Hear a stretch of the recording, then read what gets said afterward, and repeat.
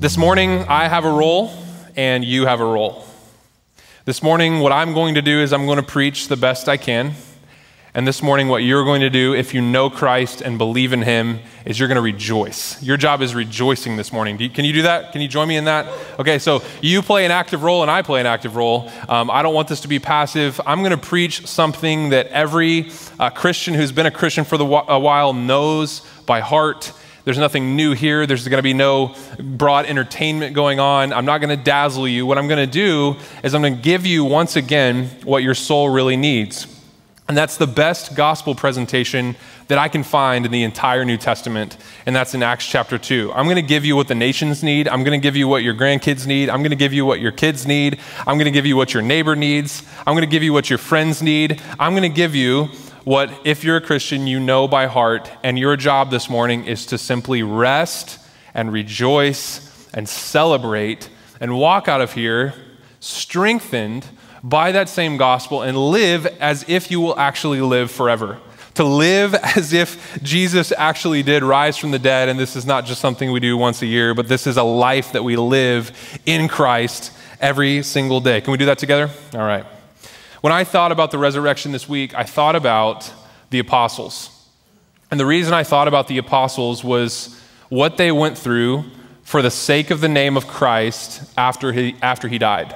Because if you think about the apostles before Jesus' death, they were sheepish, they were scared.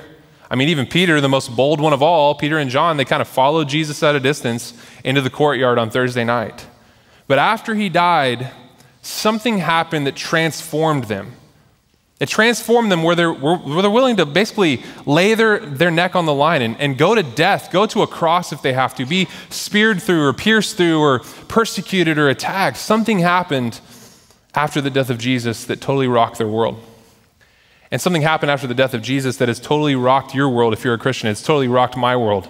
And that is that the Lord Jesus rose from the dead Sunday morning before the sun was barely starting to come up.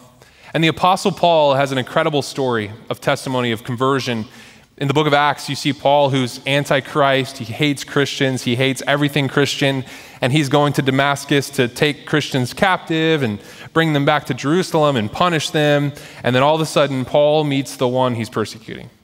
He meets this exalted, glorious, wonderful, merciful Christ. And Christ speaks to Paul.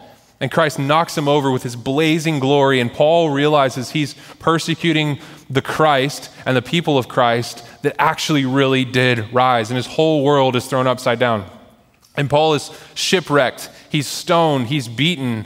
He, he's, he's martyred under Nero's reign in the 60s AD because something happened to Paul. And what happened to Paul is he encountered not some mythological creature or some fake mythological story, he encountered a Jesus who actually lives. And that changed the rest of his life. Why is it that all the apostles, except maybe one, why is it all the apostles were willing to give their very lives? Because they had seen something that they couldn't be quiet about. They had seen something was undeniable. They had seen something that they couldn't reject. And it was more than words for them, it was by sight. They saw the risen Christ. And so they knew in their heart of hearts that dying for Christ and preaching Christ was totally worth it. Because they knew that if Christ had died for them and Christ came back to life, they too would come back to life, even if they lost their lives.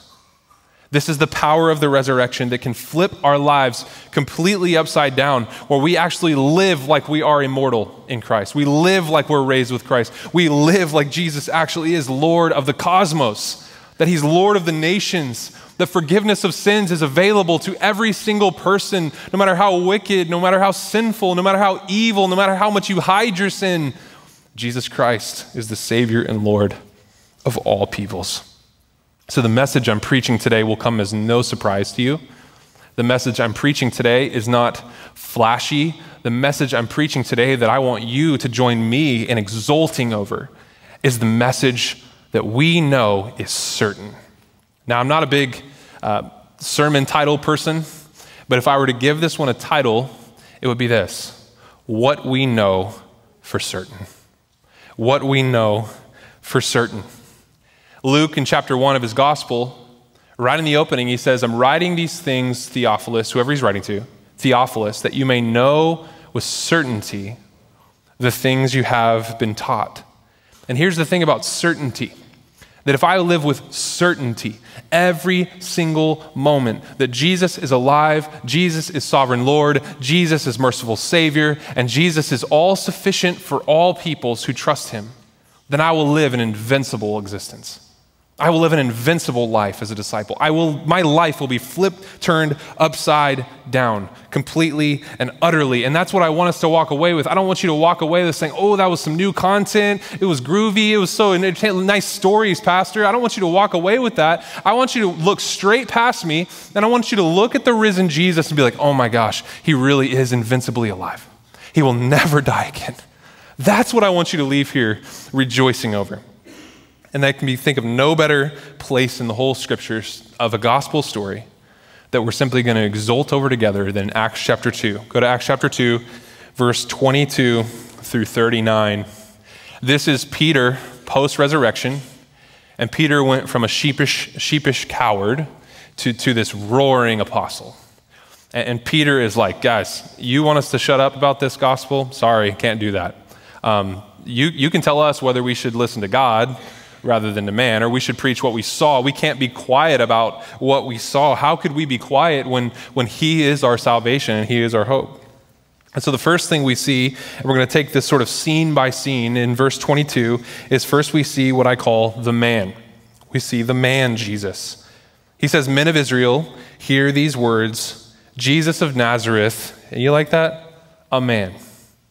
A man.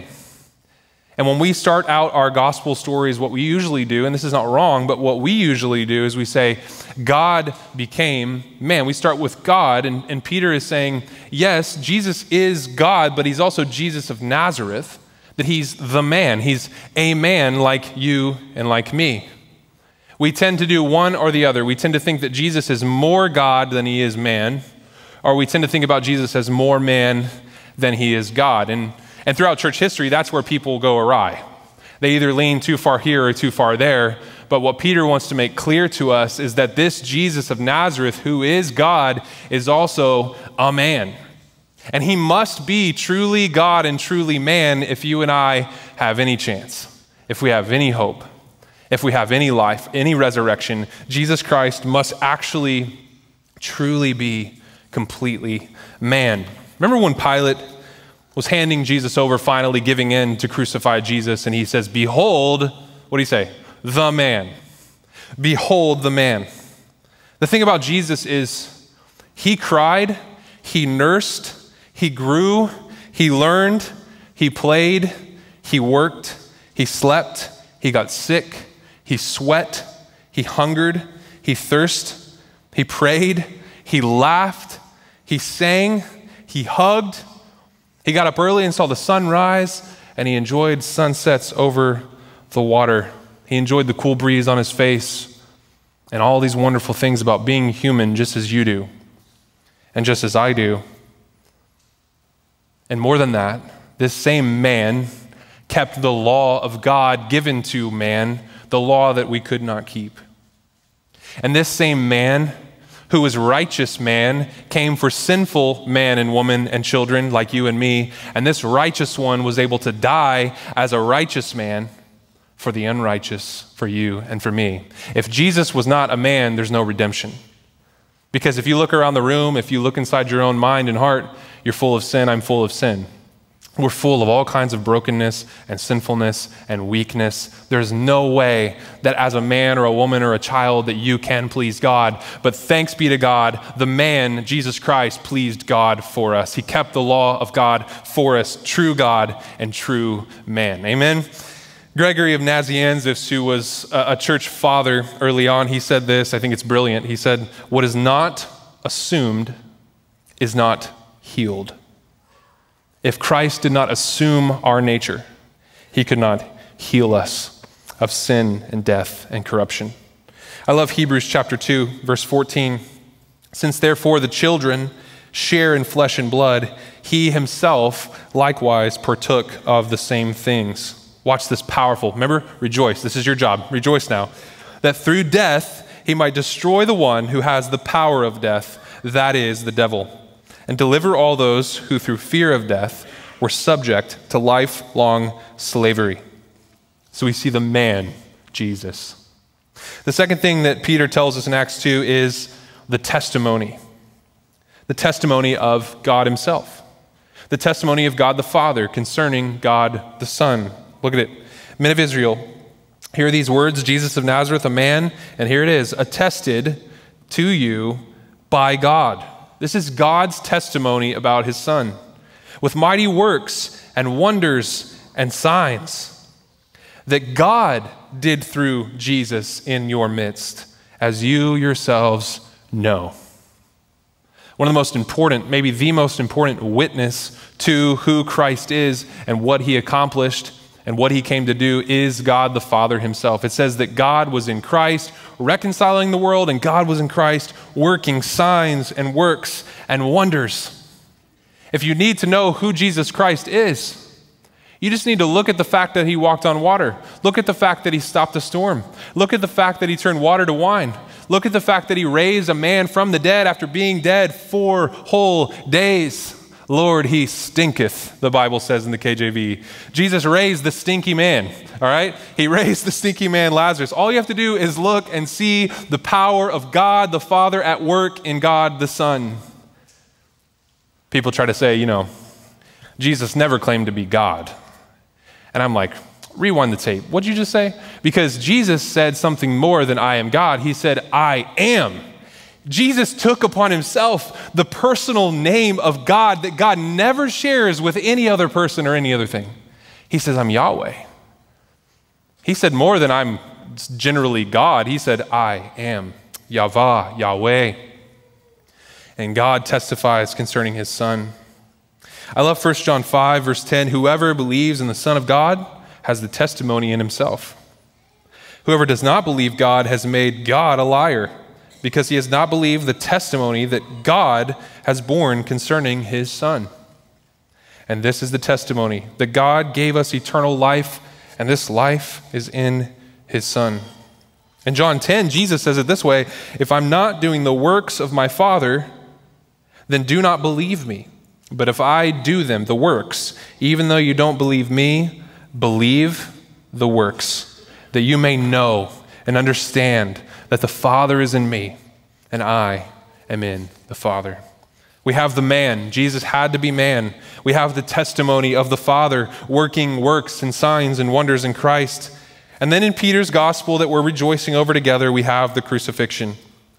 Verse 23 This Jesus delivered up according to the definite plan and foreknowledge of God, you crucified and killed by the hands of lawless men. There's some powerful language here. That Jesus, according to the definite plan and foreknowledge of God, had to suffer, and he had to die, and he had to be crucified. Jesus didn't roll into Jerusalem on Holy Week like, man, I just really hope they accept me, or else we're going to have to move to plan B. We're going to have to shift our plans. Jesus rolled in Jerusalem weeping because he knew the city would reject him. He knew he had to suffer, he knew he had to die. If you just read through the Gospels, you see over and over the Son of Man must be delivered up. He must suffer. He must die. He must rise again. He must, he must, he must. Jesus came with a great must.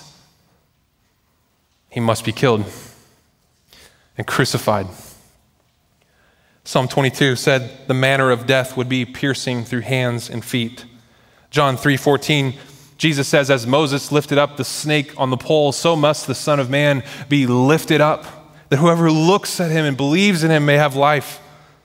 Deuteronomy 21 23 says, Cursed is all who are hanged on a tree. Jesus went up on the tree and was cursed for you, for me what I deserve. I know it within my bones, and you know it within your bones. God doesn't even have to tell you through His Word. He does, but He doesn't even have to tell you what we deserve is to be cursed and die for this, the rebellion against a holy, righteous, good God. But Jesus, the man, Jesus, the one with works and signs and miracles, Jesus, the man, climbs up on the tree and is cursed in our place, cursed for our sin. crucified. And just to think, what kind of God do we have that would plan such a gracious act? We have a God who is love, a God who is wisdom, a God who is righteousness, a God who is goodness, a God who is justice, a God who is perfect. For I delivered to you as of first importance, says Paul, what I also received that Christ died for our sins. He himself bore our sins in his body on the tree so that we might die to sin and live to righteousness by his wounds. You have been healed. So we have the man, we have God's testimony, we have the crucifixion, and now we find in Peter's gospel the resurrection. He says, God raised him up, loosing the pangs of death, because it was not possible for him to be held by it. That's the most powerful sentence in this text right here. It was not possible for Jesus, the Son of God, to be held captive by death. I want you to do something a little bit silly with me for just three seconds. I want you to take a deep breath in and hold it for three seconds. Ready? Go.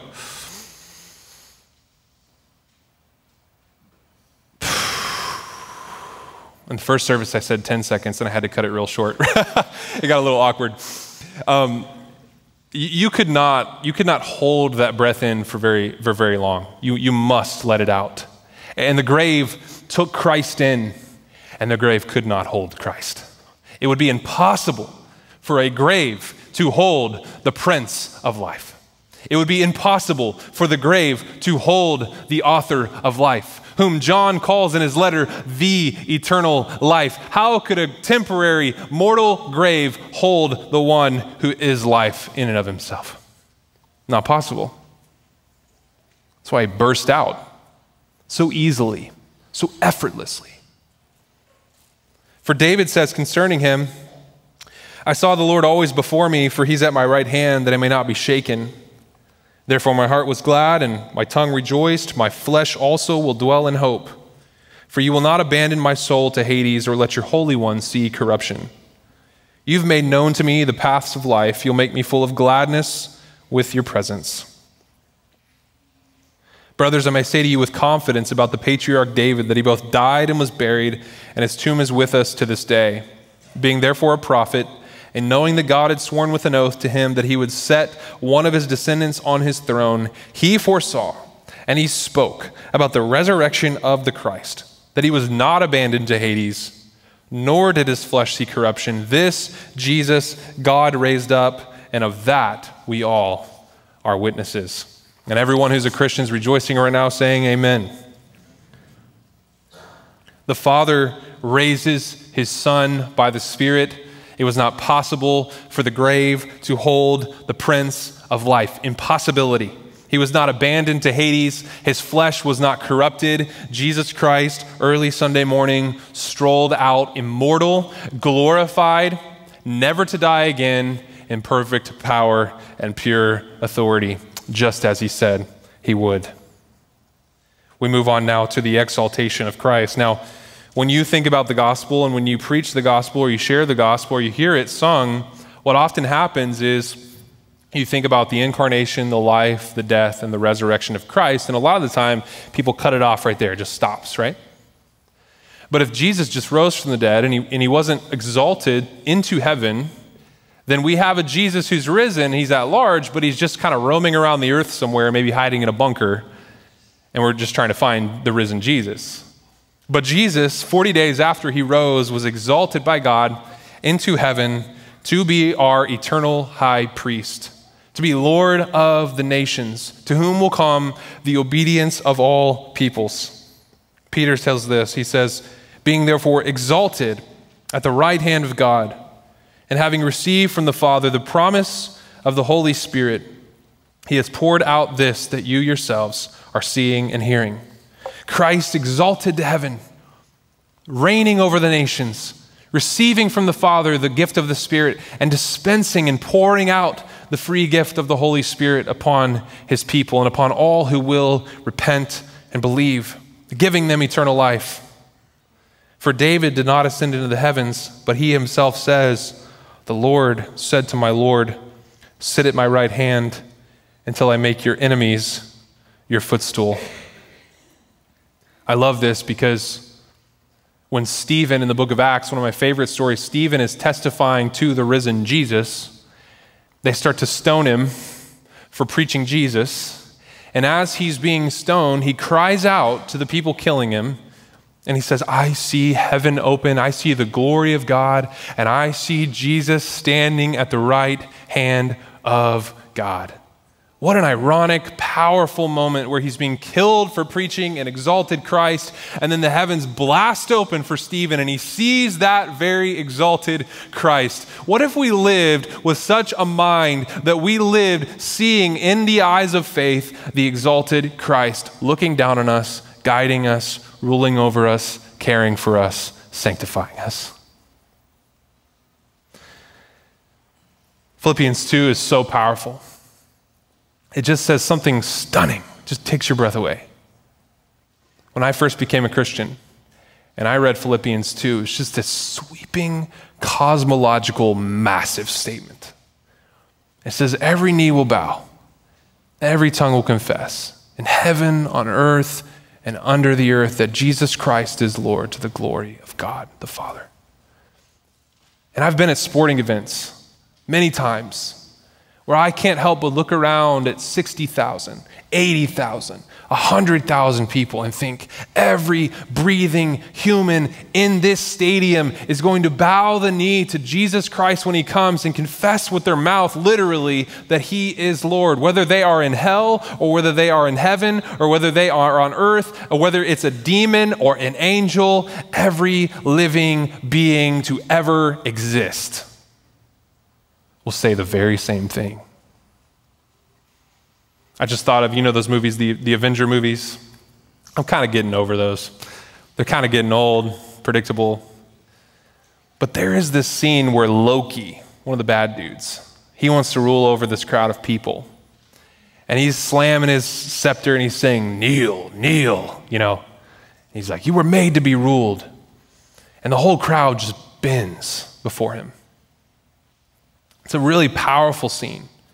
That is nothing like how many people will bend before Jesus Christ. Not, over an, not because he's an oppressive king, but because he is a righteous, good, and worthy king.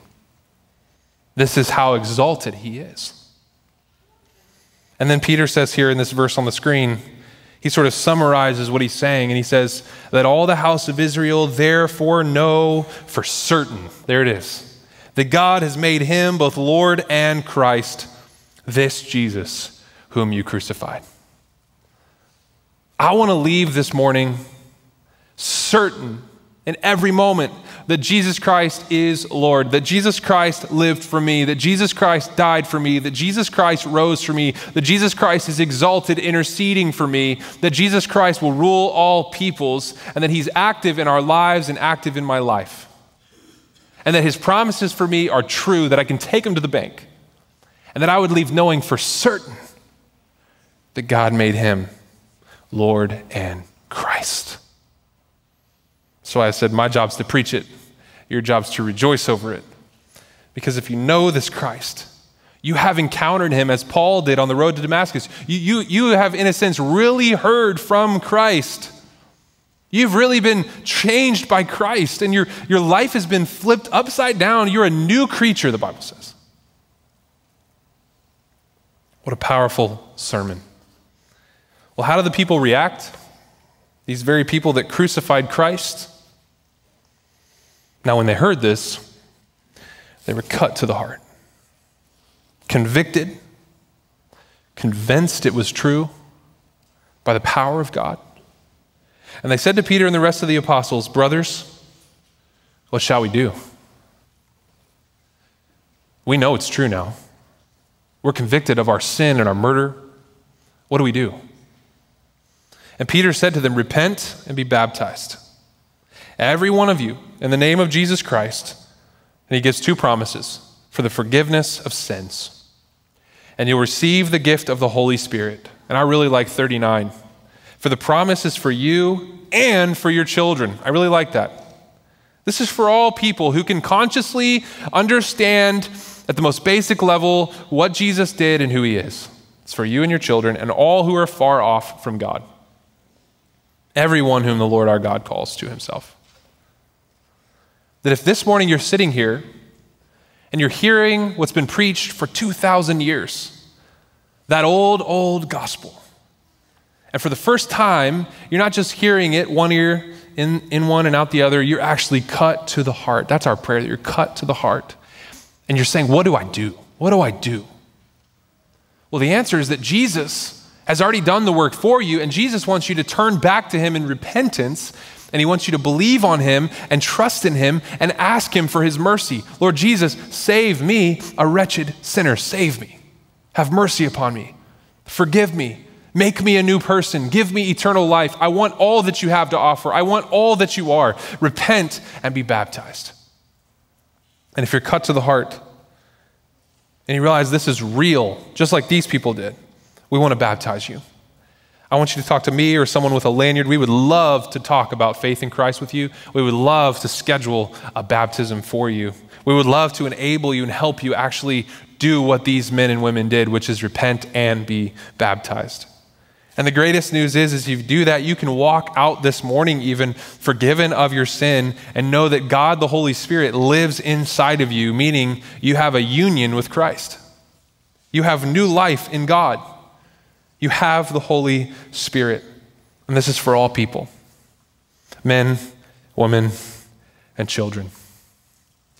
Guys, the gospel is not about what we do, it's about what He has done which is why Easter is a day of rejoicing.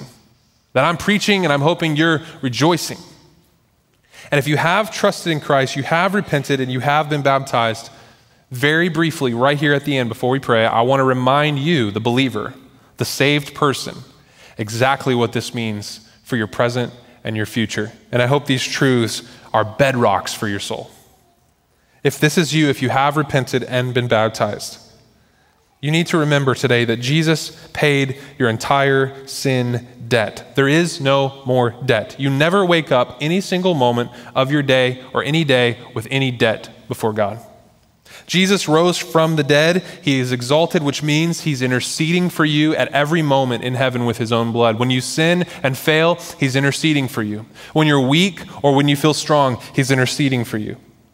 This Jesus has completely forgiven you because he has authority as Lord in Christ to forgive sin.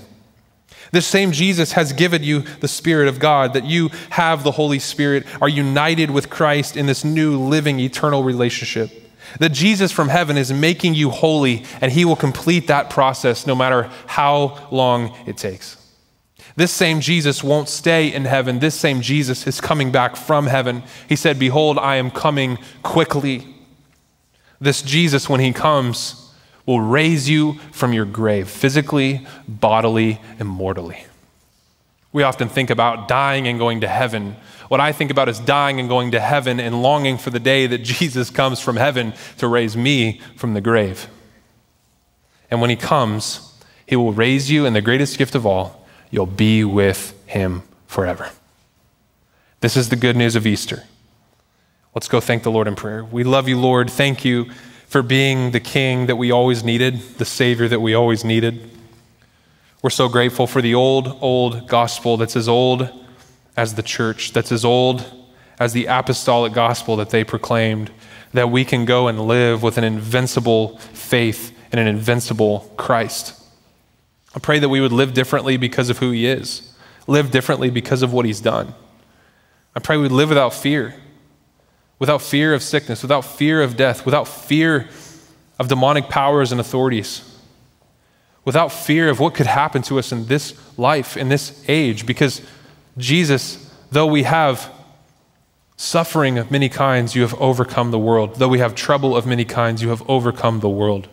You have overcome the devil. You have overcome sin. You've overcome the grave. You've swallowed it up. We're so grateful. We're so humbled before you. We love you, Lord, because you first loved us. We thank you. And in the great name of Christ, we pray. Amen.